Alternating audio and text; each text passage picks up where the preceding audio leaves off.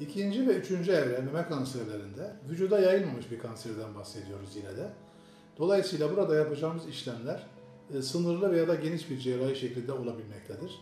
Bazen e, tümörün çapı ve diğer özellikleri sınırlı cerrahiye izin verebilir. Onu yapıyoruz.